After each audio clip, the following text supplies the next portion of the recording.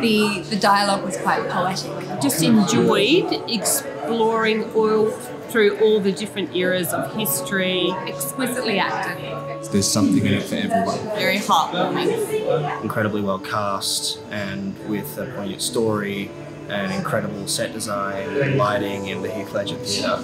It's a meaningful and timely production to see now.